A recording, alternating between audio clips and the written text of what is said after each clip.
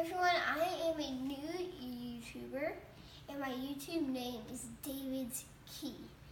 Today I will be showing you some magic tricks and the next episode I will be doing gaming and make sure to like the video and leave a good comment. Okay, my first magic trick is cutting a rope in half. Just twist, it's a perfectly normal rope, as you see.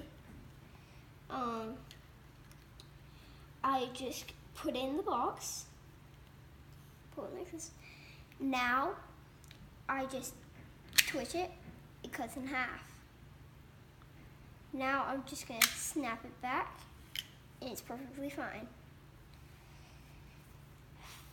I put this one back in for magic trick, number two, I'm gonna make it expand and then restore. So I cut it in half. Now, as you think, I'm gonna, if I pull the rope, it, it will just not, it will just come out. But if I actually pull the rope like this, it magically expands in that side shrinks. Now I cut it in half and it's perfectly fine as you see. I'm going to set it down right here and I'm going to take this ball, put it in my hand, reach for some magic dust, shape a ball in this hand with the magic dust and magically throw it across the air.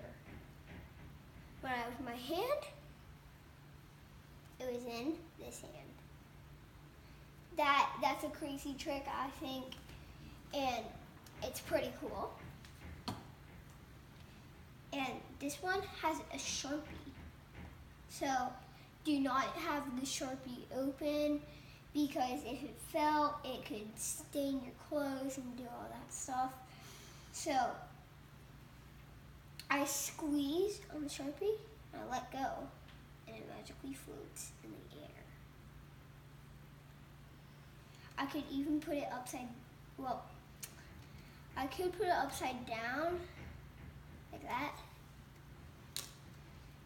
Now this one is with cups, magic cups. These two are completely not hollow, they're solid right? Nothing comes through it. Now I just place a ball right here. I put this cup over it. Now I tap it. The ball comes out. Of this cup, I place this ball right here. Tap it, goes through this cup and then the next one I put this right here, tap it, comes through this cup, comes through the other cup,